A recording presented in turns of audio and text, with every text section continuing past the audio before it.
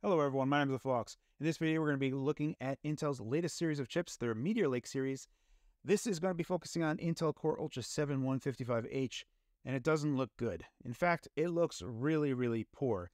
Specifically for those of us that are looking at this to be used in a handheld, this is not a chip that we want at all for a number of reasons. So I'm going to be going over that in this particular video on all the reasons why this is not what Intel needed, specifically in this particular time, and it's pretty crazy because not too long ago, just two years ago, did Intel have a their Tiger Lake chip. So the Intel 1135 G7 or 1165 G7, this is the GPD Win 3, and that had that chip.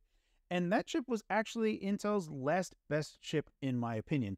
Last best mobile chip because it did really well at lower TDPs and scaled up really nicely to higher TDPs. There mm-hmm. were a number of driver problems with that particular chipset. However, performance at every particular range was actually really good. Only with Intel Alder Lake did things start to get really bad, which gets me to my next point where I've been trying to temper expectations from a lot of people because of Intel's own claims of them getting 2x performance over their GPU over their previous generations.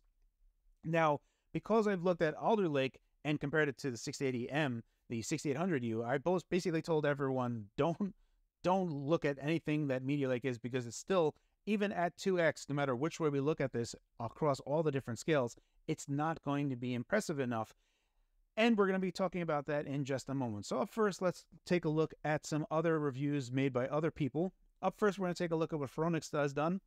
Now, if you're interested, all the sources will be in the description field below, so go ahead and feel free to click on any of those if you want to. I'm going to just be briefly taking a look at here because they did a bunch of tests and their angle that they look at it is via Linux and specifically through CPU benchmarks. So we're going to go ahead and fast forward to the end of their particular results.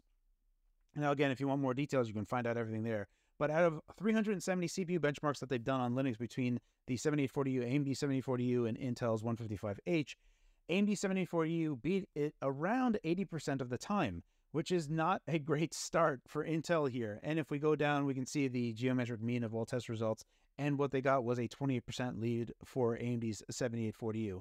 This is not a great result. However, because we, uh, generally people that are going to be viewing this video, care about handhelds, we care about gaming performance. I'm going to go and pivot over to what ETA Prime has done.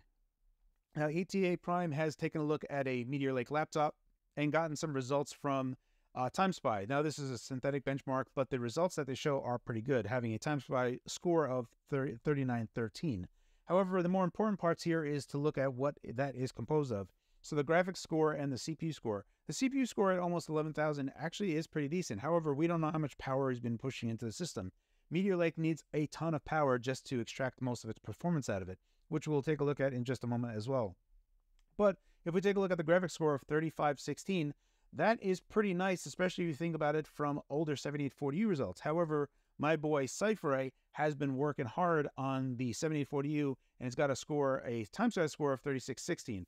Now all of a sudden it doesn't look all that impressive, especially when we take a look at the graphics score from this, this synthetic bench. We can see that the graphics score on the 78, uh, 7840U with 780M GPU, we're looking at 3283 graphics score and a CPU score of 8518.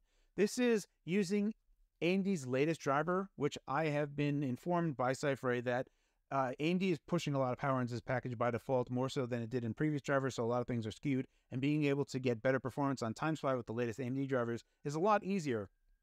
Most likely, AMD did this to kind of shrink the gap of what that looked like from synthetic benchmarks and also a bunch of other tests, it will push more power into the system as a result. So it's not going to be like free performance. You're actually going to be using more power to get that performance. But when we take a look at it from this lens, we're only looking at what 8 to 10% performance difference on the GPU side, which is great, but not enough, especially when we start thinking about the lower end. I'm going to go ahead and pivot over to Notebook Notebook Check's review on their 155H as well. Again, all the sources will be in the description field below. If we take a look here, this is The Witcher 3. This is 1080p results. Now, if we take a look here, we're going to see that it's getting 23.3 FPS average. Uh, and AMD 70, 780M, the 7840U, there's a bunch of different uh, laptops that they tested. So there's going to be different types of heatsink solutions that are on there.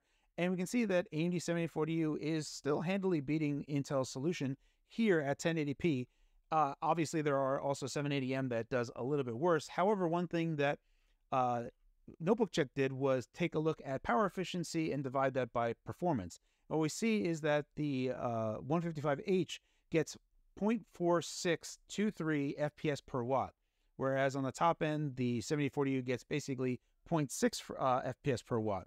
The Apple M3 does uh, exceedingly better, almost twice as better in this particular instance. So, looking at some other benchmarks, they took a look at uh, GTA 5, also at 1080p, and we can see that this is just one test that really doesn't fare well at all on Intel's Meteor Lake. We're getting around 13.1 FPS at 1080p uh, at these particular settings, and AMD 7840U is doing really well in this particular instance. If we go over to Strange Brigade, 7840U is top marks, where the Intel Meteor Lake is just below it.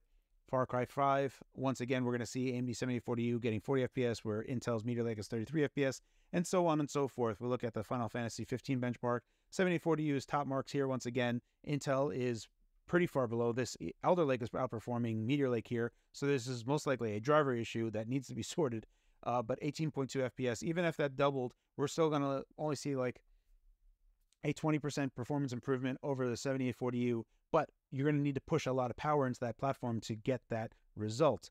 Now, this brings me to the last point here that I want to talk about is that this is something, again, that was very prominent even in Tiger Lake days. Now, even though Tiger Lake does uh, scale really well in TDP from, from low TDP to high TDP, it became evident early on, especially when I was looking at it, that there were a lot of problems with newer games, especially with a lot of uh, te- uh, texture bugs where VRAM was an issue. But there's just a lot of things that were just outright broken. Resident Evil 7 was broken, so we had to use uh, DXVK. So there's just a bunch of stuff that we needed to do, the community to step in to fix things. Likewise, if you were to think about this, Starfield was broken on day one, didn't work at all.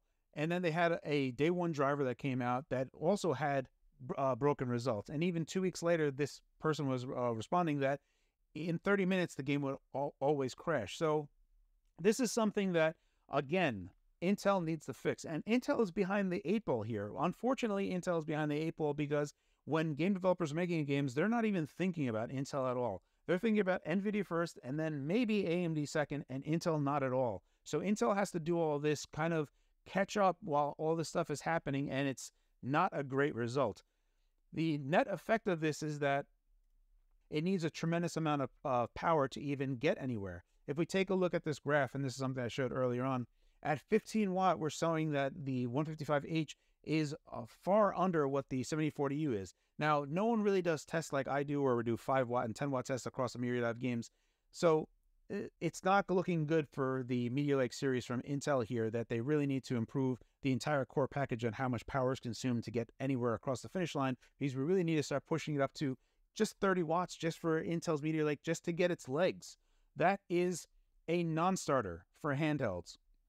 So hopefully this video has been informative in showing why Intel's Meteor Lake is not anywhere a good chip for any mobile platform really, just because it needs so much power.